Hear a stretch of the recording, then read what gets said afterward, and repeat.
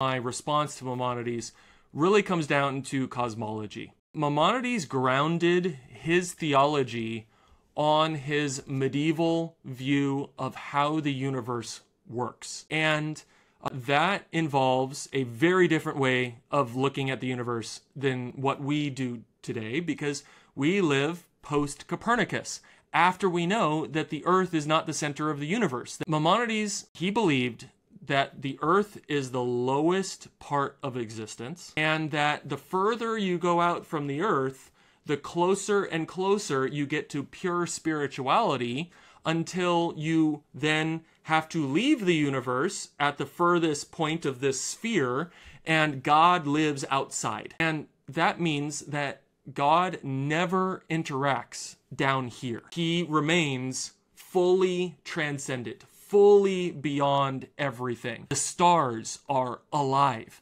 And that's what Aristotle said. And then comes Maimonides and he's trying to fit this in with scripture. And, uh, you know, in the Psalms, you know, it uses poetic language. It says, And the morning stars sang for joy. And he says, Oh, there we go. See, the stars are angels. And so that meant that Saturn is an angel, Jupiter is an angel, Mars is an angel, all the stars are angels.